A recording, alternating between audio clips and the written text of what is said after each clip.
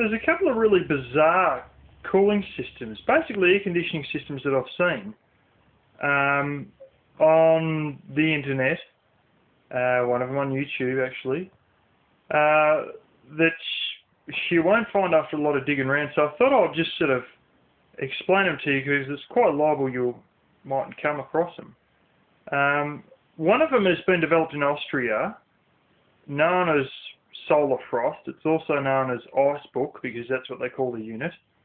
On their website, they get you to download a little thing and you spend a lot of time downloading a lot of stuff to see basically pretty much what they tell you anyway on the on the web page regardless.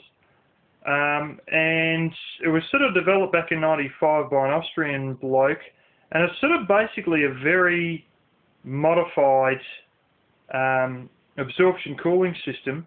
And then they make a whole stack of them all together tightly and pack them like pages in a book. That's what they call it the ice book because there's umpteen one behind the other.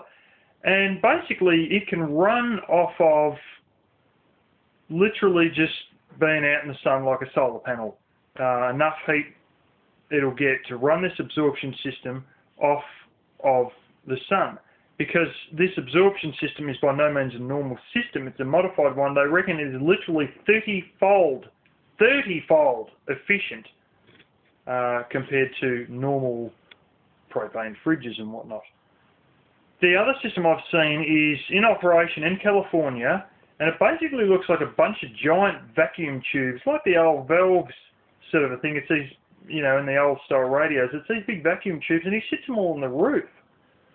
And somehow it all works out that, yeah, that's some sort of a thing that causes air conditioning. It's a weird system, but it works well. Another one they are now doing commercially, I think it is in the Texas Museum of Aviation, I think.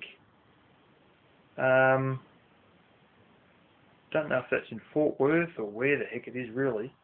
Uh, but there are systems out there made by this mob. They do make them. And what it is, it's an absorption cooling system. And uh, I've had little aspirations to do similar things myself, but it would cost a lot of money. I was thinking more along the lines of running a propane fridge using the same method, but actually using steam I think they use lithium bromide or something, but what it is, they get solar collectors. Not necessarily your dish one, um, as in like your solar cooker with the, the silver dish behind it, but they use the trough one where you can get like it, it's like half a pipe uh, cut and sort of facing up towards the sun. And then at your focal point, which is about your centre of where your pipe would have been before they chopped it in half, they have a pipe um, and they run lithium bromide, I think, I could be wrong, um, through it. If I'd done it, I'd be running water through it and then having the steam hit a little, the part in the propane fridge which the gas flame usually touches.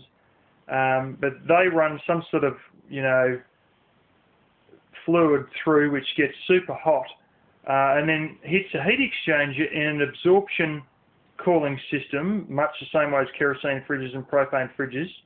Uh, but instead of just cooling a little fridge, it actually has fans and it runs an entire air conditioning system.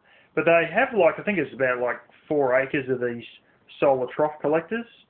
Um, going back to this heat exchanger system inside this absorption thing, and then where you get your little cold pipe in your propane fridge, you get the same sort of thing, but fans blowing on it, recirculating the air around the room to cool um, the air in the place. But there are strange technologies out there, many damn, damn expensive ones, um, that are sort of, you know, almost real sort of next generation sort of hybrid prototypey sort of a, a you know, scenario.